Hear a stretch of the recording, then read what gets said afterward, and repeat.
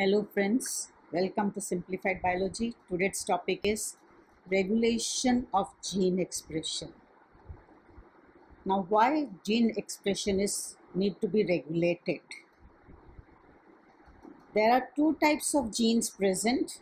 One the constitutive genes and the second non-constitutive genes. Constitutive genes are those genes whose products are always required by the cell. Hence, these genes continuously transcribe and translate. You can say they are required for the survival of the cell. Such genes are known as housekeeping genes. The non-constitutive genes are those genes whose products are not always required by the cell. So if these genes continuously transcribe and translate, there will be a lot of wastage. Regulation of expression of such genes is a must. And in prokaryotes, these genes are regulated at the transcription level, that is during the formation of RNA from DNA. There are two systems of regulations. One is an inducible system and the second a repressible system. The inducible system is always off and the best example of the inducible system which we are going to study is lac-operon. The repressible system is always on and the example of repressible system is tryptophan operon. Now let's see the inducible system.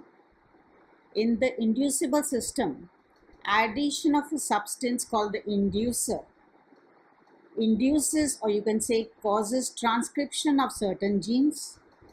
These genes are known as inducible genes. Their products are inducible enzymes and they are always associated with catabolic processes. The example is enzyme required for lactose catabolism which we will study in lac-operon. In the repressible system, addition of a substance called co-repressor stops the transcription of certain genes. These genes are known as repressible genes. Their enzymes are repressible enzymes and they are always associated with anabolic processes.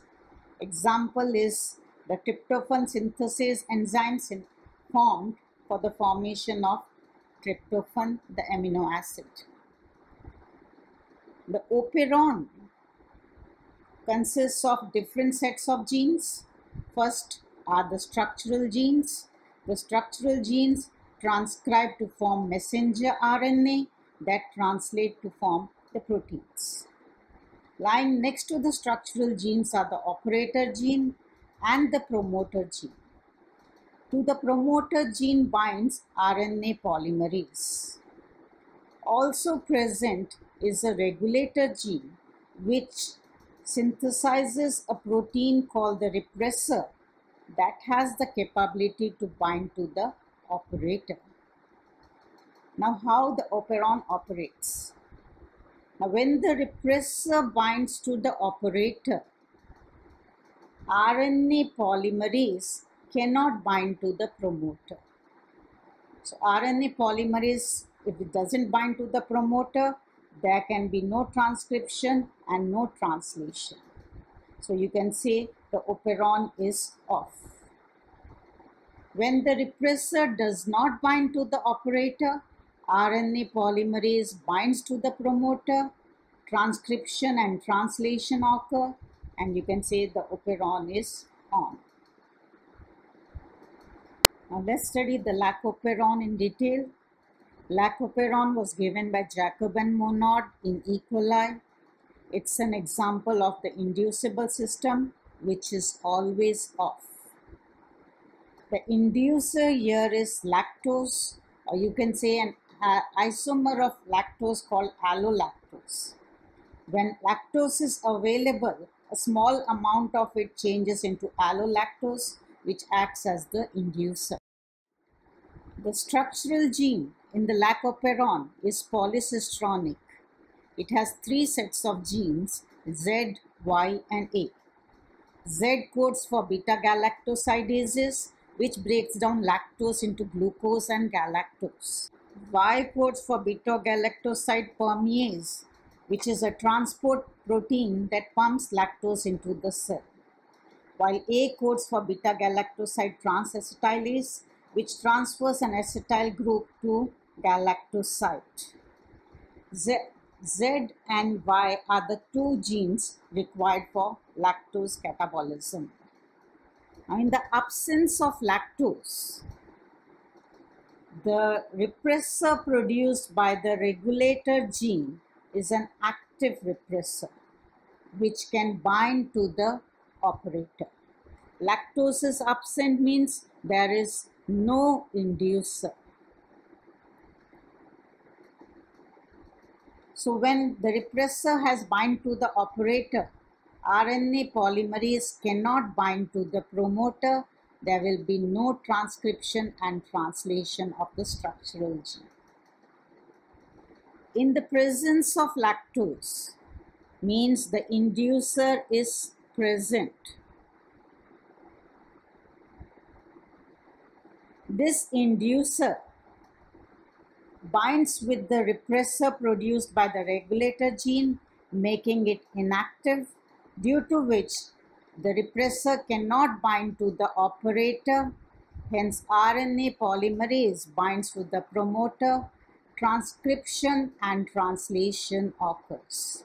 Means the Z, Y, and A gene transcribe and translate to form the proteins beta galactosidases, permeases, and transacetylase. This is how gene regulation takes place in prokaryotes. Now, in eukaryotes, genes can be regulated at different levels.